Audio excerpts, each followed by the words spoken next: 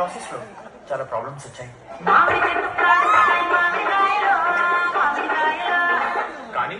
వాటన్నిటిని అధిగమించాను